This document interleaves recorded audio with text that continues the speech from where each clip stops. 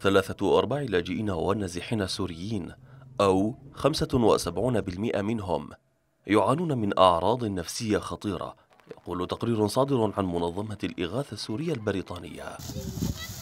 التقرير أوضح أن هذه الأعراض أو ما أسماها اصطلاحا باضطراب ما بعد الصدمة هي نتيجة عشر سنوات من الحرب في سوريا. صحيفة الجارديان البريطانية نقلت عن المنظمة البريطانية قولها إن السوريين كافحوا من أجل الحصول على الدعم خلال الأعوام الماضية كاشفة عن دراسة أجرتها المنظمة. شملت 721 سوريا يعيشون في لبنان وتركيا وإدلب شمالية سوريا.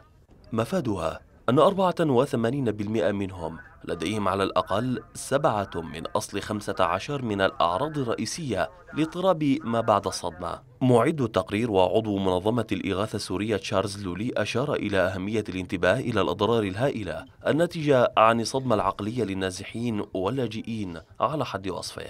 المنظمة دعت لاستثمار أوسع في خدمات الصحة العقلية للاجئين السوريين في دول عدة لاحتواء انتشار اضطراب ما بعد الصدمة.